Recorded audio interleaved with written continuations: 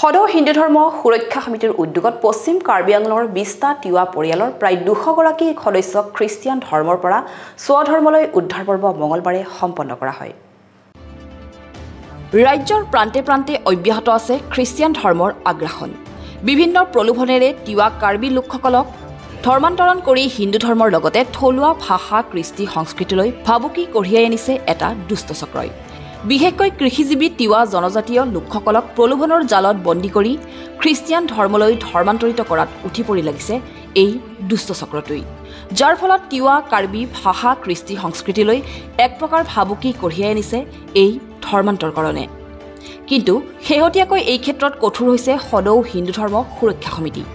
পূৰ্বে ধৰ্মান্তৰিত হোৱা ব্যক্তিসকলক পুনৰ স্বধৰ্মলৈ উভতাই অনাৰ প্ৰয়াস চলাইছে একাংশ সচেতন লোকে। তাৰ অংশস্বৰূপে খ্ৰীষ্টিয়ান ধৰ্ম গ্ৰহণ কৰা পশ্চিম কাৰ্বি আংলঙৰ বিছটা পৰিয়ালৰ প্ৰায় দুশগৰাকী সদস্যক তিৱাসকলৰ ধৰ্মীয় পৰম্পৰাৰ মাধ্যমেৰে হিন্দু ধৰ্মলৈ উদ্ধাৰ কৰা হয়। কাৰ্বি আংলং জিলাৰ যি লেমৰা গাঁও আছে লেমৰা গাঁৱত আমাৰ কাৰ্বি সম্প্ৰদায়ৰ আৰু তিৱা সম্প্ৰদায়ৰ বহুকেইজন ব্যক্তি আজি নাই বুলি বিছ ঘৰ বাইছ ঘৰ ব্যক্তি পৰিয়াল।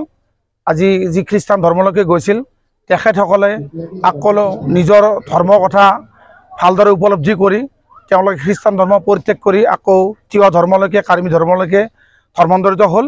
সেই উদ্দেশ্যে আজি ইয়াত এখন ৰাজহুৱা সভা আছিল আৰু সেই ৰাজহুৱা সভাত উপস্থিত থাকি এই ব্যক্তিসকলৰ যি ধৰ্মীয় ৰীতি নীতি পূজা পাৰ্বণ এইবিলাক ৰীতি নীতিৰে তেওঁলোকক পূজা পাৰ্বণ দি আকৌ তিৱা ধৰ্মলৈকে ধৰ্মান্তৰিত কৰা হ'ল।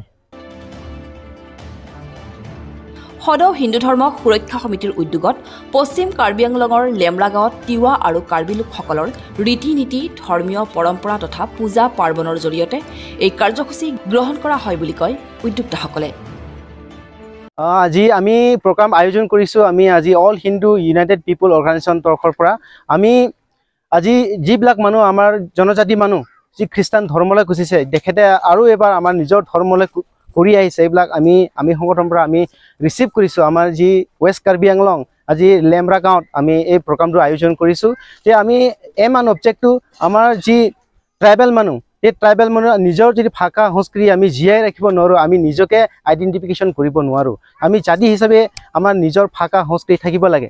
এইবিলাক এম আন অবজেক্ট লৈ পেলাই আমি এই কামটো আগবাঢ়িছোঁ কাম কৰিবৰ কাৰণে। আৰু আমি এই কামটো লৈ পেলাই দিৱা হওক কাৰ্বি হওক নেপালী খাচী আমি চব মানুহকে আমি ৱেলকাম কৰিছোঁ। আমি অল হিন্দু ইউনাইটেড পিপুল তৰফৰ পৰা আমি এই কামটো কৰি আছোঁ।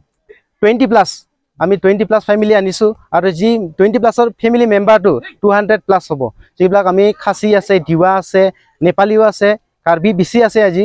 সেইকাৰণে আমি বহুত ভাল লাগিছে কি আমি নিজৰ ভাষা সংস্কৃতি আৰু আমি জীয়াই ৰাখিব পাৰোঁ বুলি আমি আশা কৰিছোঁ। এইবিলাক এইবিলাকতো মানে এতিয়া যেতিয়া ফ্ৰী এডুকেশ্যন এনেকৈ দি পেলাই মানে আমাৰ মানুহটো কনভাৰ্ট কৰি লৈ যায় আৰু এইবিলাক এজেঞ্চি টাইপ থাকে যিবিলাক মানে মিছনাৰী আপোনালোকে দেখা পাইছে মিছনাৰী য'ত হয় সিহঁতে মানে কাপচা কৰি লয়। য'ত মিছনাৰী তাতে অলপ অলপ এজন দুঘৰ হ'লেও খ্ৰীষ্টান ঘৰ থাকিব। তেতিয়া আমাৰ জনজাতিটো আমাৰ দুখীয়া মানুহ পইচা নাই স্কুল পঠাবৰ কাৰণে এইবিলাক পইচা দিয়ে ফ্ৰী এডুকেশ্যন ফ্ৰী মেডিকেল কাপোৰ কানি দিয়ে। এইবিলাক আমাৰ মানুহটো মানে তাতে হেৰি মটিভেট হৈ যায় আৰু। সেইকাৰণে আমি আমিও ভাবিছোঁ যে আমি অল হিন্দু ইউনাইটেড পিপুল তৰফৰ পৰা আমিও হেল্প কৰিম। মেডিকেল ফ্ৰী কেম্প কৰিম। আমি যিমান আমি অল অসমতে কৰি আছোঁ।